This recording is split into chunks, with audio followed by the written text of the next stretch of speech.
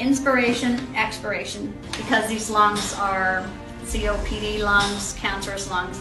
Um, the elastance is gone, so they'll stretch out, but then the recoil of them just snaps right back.